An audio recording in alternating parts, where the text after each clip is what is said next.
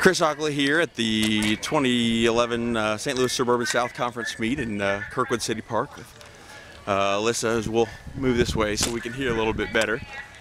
But uh, with individual girls champion Alyssa Jones from Rockwood Summit, junior, tell me uh, how things went today for you. I know you um, had won last year, so we're looking for two in a row and we're able to pull that off. Tell me a little bit about that. Um, well, I knew that Hannah, she was Hannah Richardson, she's right behind me, or, and I know that from the Parkway Central meet previous week, she had a really good kick at the end, so it really helped to push me through to the number one spot.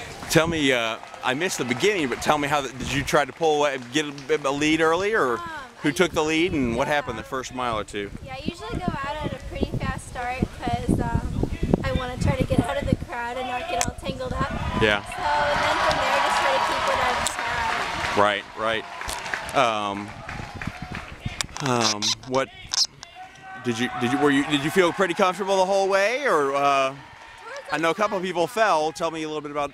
Yeah, like uh, the course, like it's a great course. I've like you know been ankle twists several times, but Yeah. nothing awful. The last mile with that hill and the finish uphill. I mean, it wasn't awful, but it didn't make it easy. Yeah, yeah. Uh, what's it been like this? I know last year, or last couple years, you've had another uh, a great runner to run with, Jenny Guevara, who's now at SEMO. Tell me what it's like not uh, with, with her gone now. It's totally different. Like Jenny, she's always by my side, and now she's not there. One of the best one-two punches in the state last year for sure. So It's definitely weird, but I mean, I know that. I mean, it will be my time someday, and I know that she she's doing great at SEMO now. So Yeah. you just kind of have to move on and just be thankful for what you have. yeah.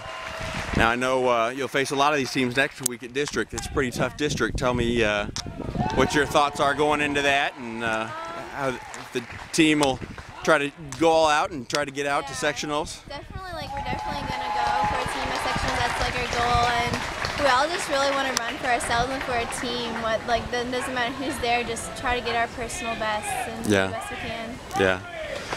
Well, you've had a good season. What's uh, any any specific goals you want to share, or what, going forward with a couple three weeks left of the season? Yeah,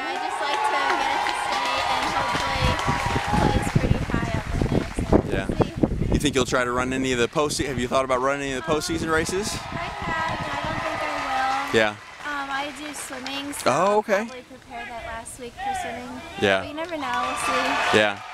What's uh, what what's your favorite stroke in swimming? Breaststroke. Okay. Yeah. So that season, when do they start competition? That first Uh, week? It's the week after start, like the next week after start. Yeah. And then state swimming is what about February or so? Not that good of a swimmer, so Yeah. not that familiar with it. Yeah. Have you swum swum a long time? Um, I first started my freshman year, so Okay. I thought I'd try something new, and it's great cross training. I highly recommend Right. it. Right. Yeah. So, well, great race today, and good luck the rest of the season. Thanks. Thanks.